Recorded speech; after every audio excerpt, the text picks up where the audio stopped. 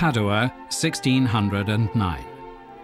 Working on a cold winter's night from his garden near the Basilica of St. Anthony, Galileo Galilei points his newly invented telescope to the sky. He is amazed. A new and fascinating world unfolds before his eyes the world of stars and planets.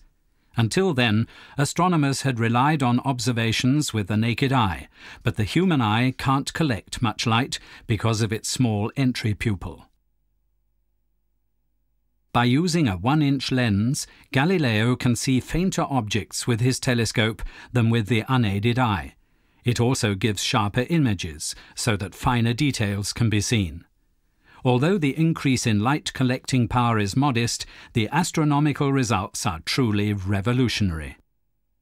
Looking at the faintly glowing Milky Way band which spans the sky, Galileo immediately realizes that it's comprised of a mass of stars. On the 7th of January 1610, he discovers three points of light near Jupiter and correctly understands that they're moons revolving around this planet. It's like a small solar system, and Galileo senses that Copernicus is right. The Earth must move around the Sun in a similar way. And as he trains his telescope on Venus, he discovers that it has phases, just like the Moon. This is the strongest proof yet of the heliocentric world model. Three centuries later, a young American astronomer commences work on a new telescope at the Mount Wilson Observatory in California. It has a primary mirror of 100 inches, 100 times larger than Galileo's. It is the largest optical telescope in the world and with it the young astronomer is about to make a major discovery. His name, Edwin Powell Hubble. The superior performance of the new telescope allows Hubble to study individual stars in the Great Andromeda Nebula. It is the biggest of the mysterious nebulae seen in the sky, and its nature is being intensely debated by astronomers. His detailed studies enable him to measure the distance he proves convincingly that it is a galaxy, at an enormous distance from us, far outside our own galaxy, the Milky Way.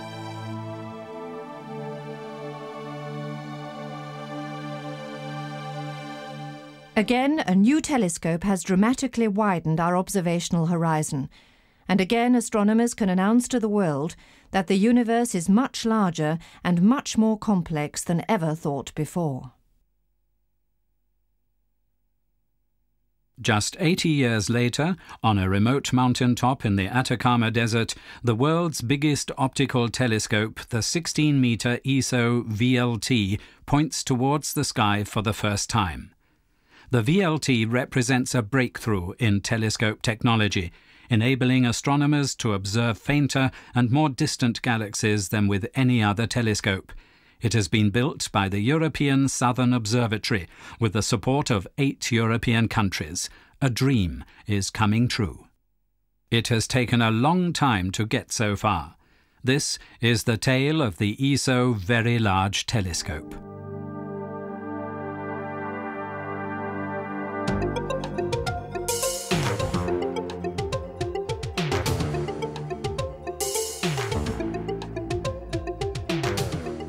1976. At the European Southern Observatory's site on Cerro La Silla in the Chilean Atacama Desert, the new 3.6 metre telescope enters the final test phase. It is a milestone for ESO and also for European science. For the first time since the First World War, European astronomers now have access to a truly up to date telescope, of a size and with a performance that is comparable to the best telescopes in the United States. The telescope is computer controlled, and the astronomers work in front of TV screens in a control room. It is a far cry from Galileo's and Hubble's telescopes. Astronomy has become a high tech science.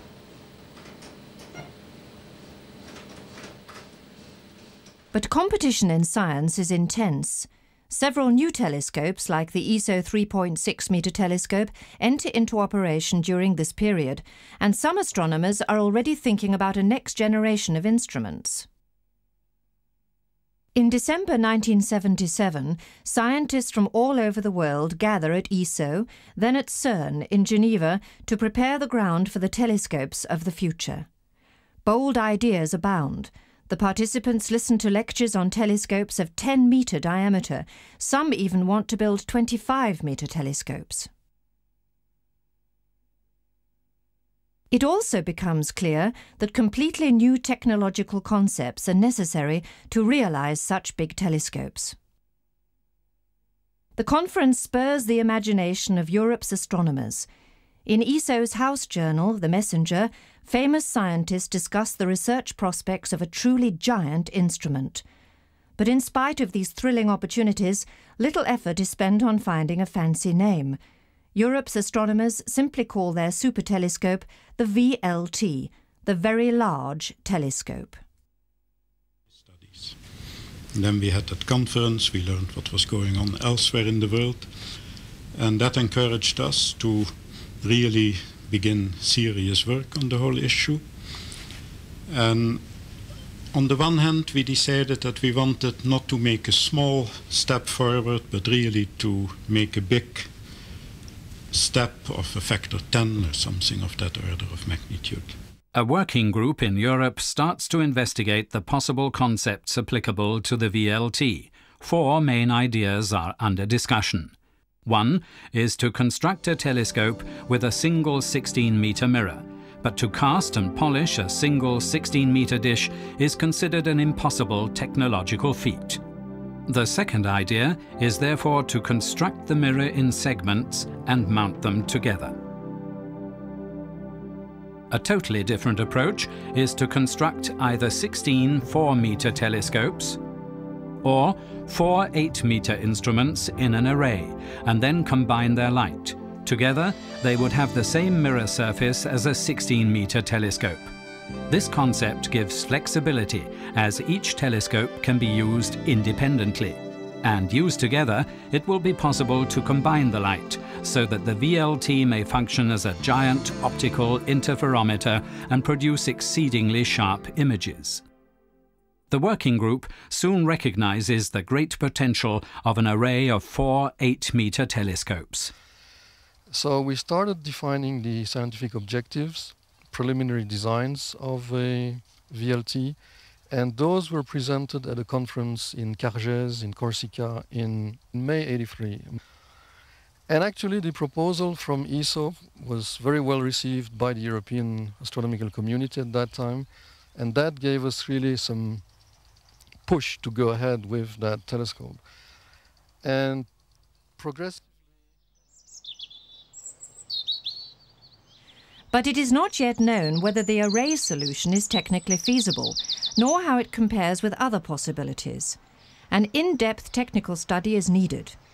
ESO therefore sets up a dedicated in-house VLT project group headed by ESO senior optical engineer Dr. Daniel Enard. Soon, engineers and scientists are busy with feasibility studies. Some are carried out at ESO, some contracted out to European industry. The group also receives support from several specialised working groups and a scientific panel under the chairmanship of Jean Pierre Swings. Many active scientists in ESO's member countries participate in this work. The scientific community in Europe takes a strong interest in the VLT project.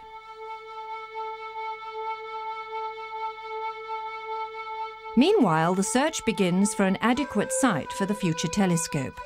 What is to become the world's biggest astronomical telescope clearly deserves the very best location.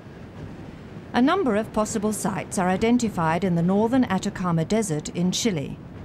Advanced site testing equipment is deployed on remote mountaintops with small dedicated ESO teams who monitor the observational conditions day and night.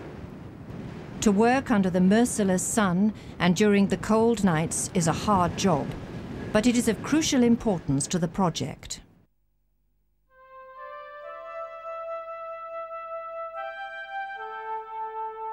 Their work continues for more than six years before the site is finally chosen, an unparalleled effort in the history of astronomy.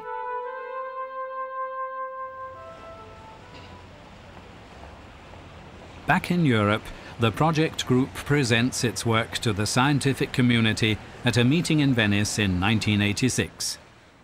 The group prefers the 4 8 metre telescope concept, which is now commonly accepted.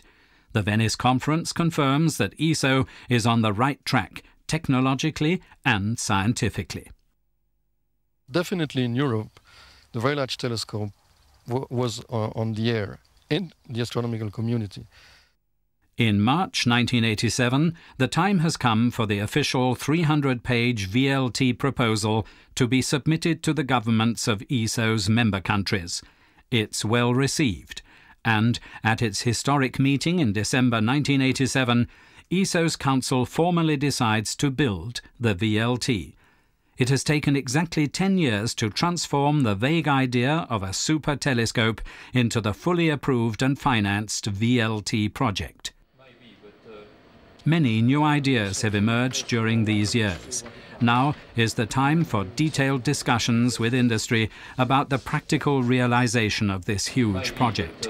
In particular, the exact configuration of the four 8 meter telescopes will depend on the choice of the site. In December 1990, ESO's council decides that the VLT shall be built on Cerro Paranal, an isolated mountaintop about 120 kilometers south of the Chilean town of Antofagasta and 12 kilometers inland from the Pacific coastline. Paranal is situated in the driest part of the Atacama Desert. It has an extremely stable climate which offers optimal conditions for astronomical observations and 350 clear nights every year. But the summit of Paranal is rather narrow and cannot accommodate the huge VLT without a considerable amount of landscaping. 28 metres of the mountaintop must be removed to create a platform big enough for the telescopes. Furthermore, there is no water, only poor dirt roads in the area, and the wind can be very strong. So by adding all the things up together, we have come to the conclusion that probably the best location for the control building is here. Before the bulldozers move in, construction manager Peter de Jonge presents the plans at ESO's headquarters in Garching in Germany. A complete infrastructure with buildings, roads, electricity, heating plants and water tanks must be created in the middle of the arid Atacama Desert to support the VLT Observatory and its staff. Innumerable drawings are made, drafts written and rewritten, while data continue to be collected.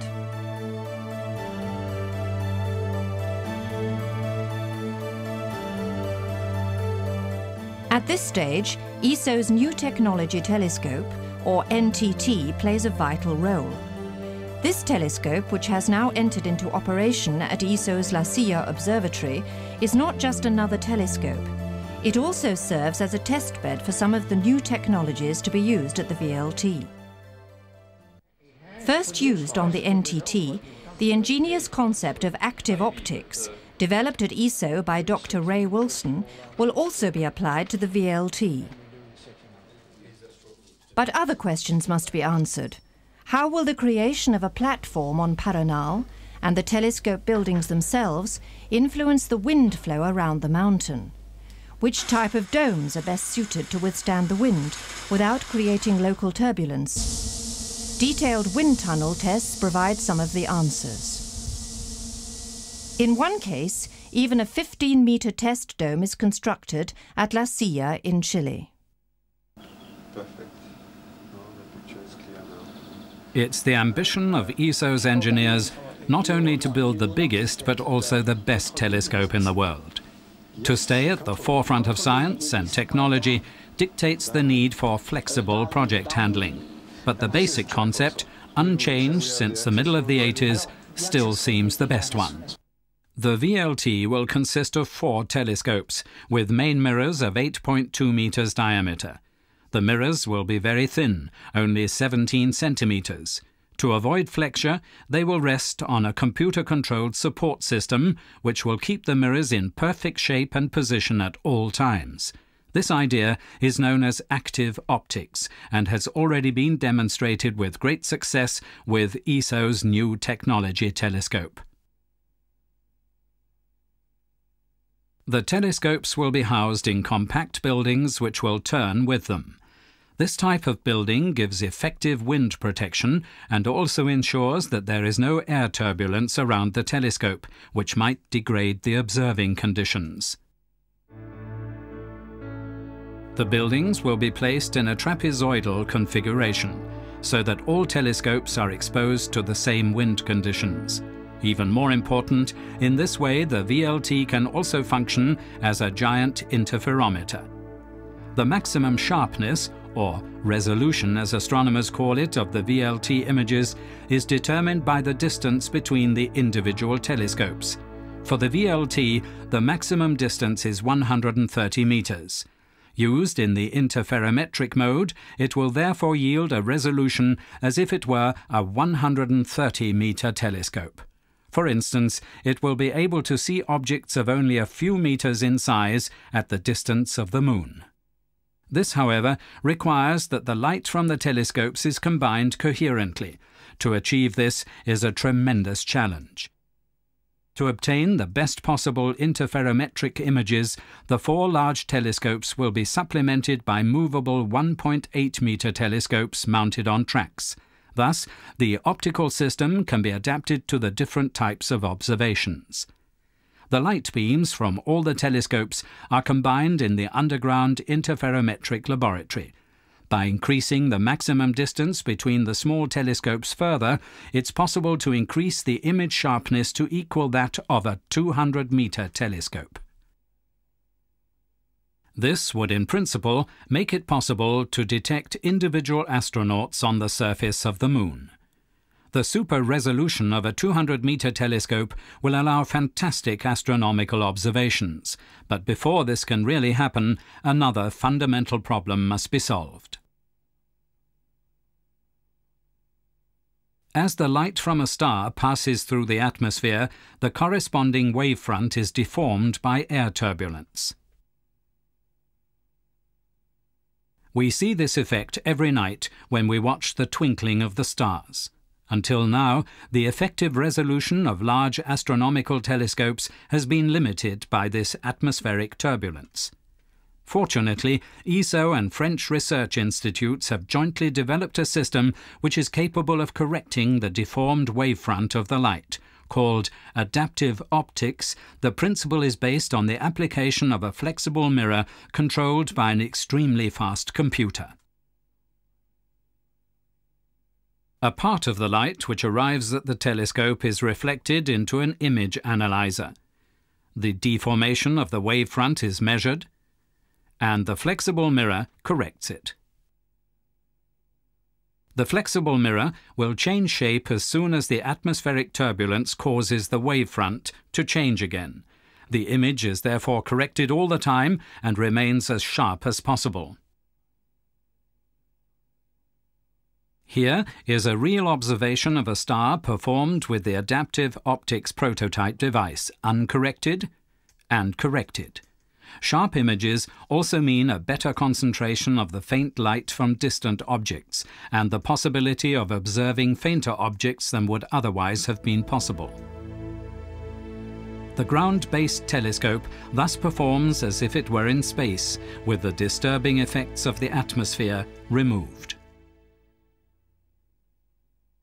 The VLT holds great promises for scientists. It also poses an enormous challenge to industry.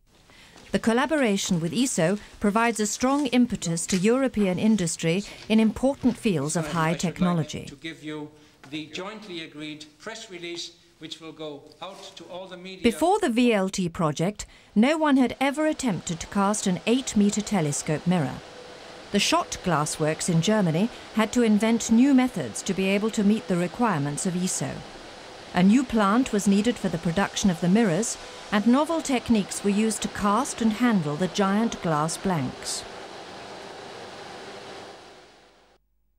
Also, at Reosc in Paris, where these blanks are to be polished from 1993, the VLT project has sparked off intense activities, A new building and a 32 metre tall test tower has been built to test the polished mirrors.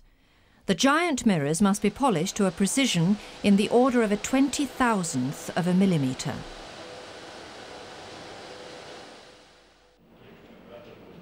In Italy, the AES consortium joined forces to build the gigantic structures for the telescopes. Each of them will weigh more than 440 tons. Yet they must be machined to submicron precision. Working under ESO contracts, a group of leading national research institutes will spend 170 man years in developing the first two of the highly sophisticated auxiliary instruments for the VLT. Thank you.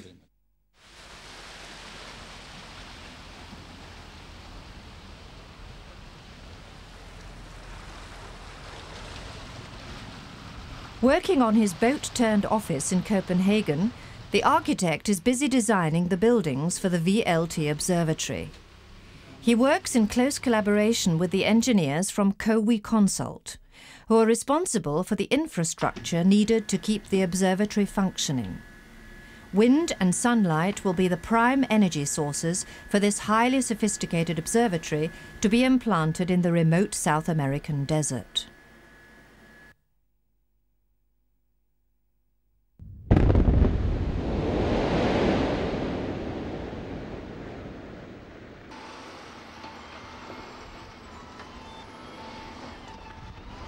While engineers and technicians are busy in Europe, the Dutch company Interbeton prepares the site at Paranal. It is a hard and dirty job to create the telescope platform. We have been here uh, some very nice days, but uh, in the beginning we had terrible days with uh, hard, very hard winds, icy temperatures in the night far below zero, and during the day just because the wind very hard the people are working here, um, yeah, with lots of lots of problems, especially for the clim climate. The wind is is a, is difficult part. Besides it is the cold. The men are completely clothed and uh, it's hard to move. It's just a very special uh, thing to work here. Yeah, a lot of dust, logically, and a uh, quarry operation brings it with it. That's about it. Some 350,000 cubic metres of soil and rock must be removed from the mountaintop.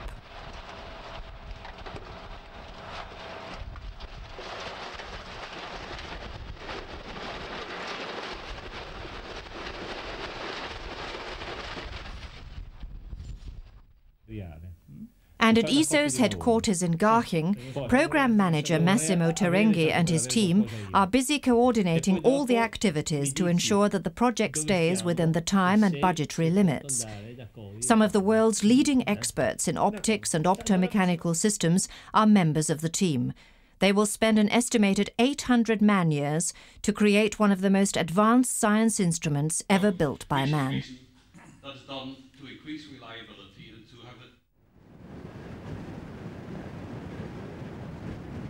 December 1991. The Council, ESO's ruling body, visits Paranal to monitor the progress of the site preparation. They are confronted with a dusty building site, but they do not lose sight of the goal, to be achieved in 1999 when Europe's very large telescope will open its eyes towards the sky. What you want from a telescope is to see things which are very far away because when you think uh, see things which are very far away, you see also in the far past. As you know, it's a little bit like receiving a letter which doesn't tell you how the people who have sent you the letter are feeling now, but how they felt when they wrote the letter. In the same way, when we get a signal from the sky, it left long time ago, and if you can see something which is very far in distance with such a big telescope, you can see things as they were in the past this telescope, for instance, may provide a clue to the birth of the galaxies.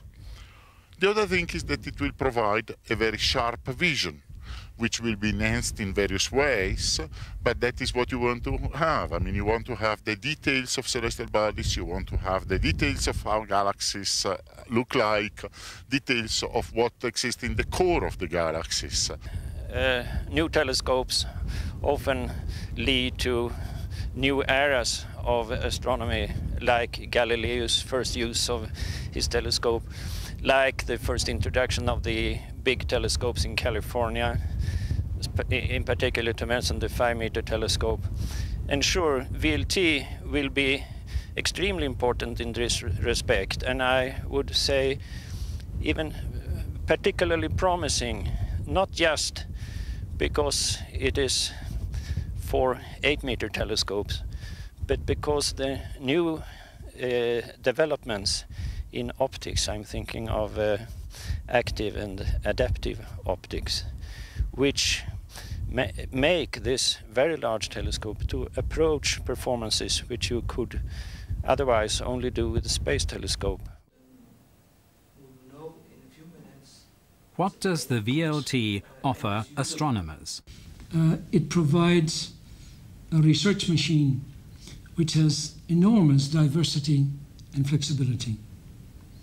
The VLT can do almost any kind of observation that astronomers want to do from the ultraviolet to the infrared, whether that be astrometric or photometric, uh, very high resolution imaging, ultra high resolution imaging using the interferometric mode, where you can see with the sharpness and with the spatial definition that is completely unprecedented in optical and infrared astronomy. Because it has so many, such diverse instruments, such a large number of superior observing modes, we can expect a host of new surprises, a great deal of excitement. And what can mankind expect from the VLT?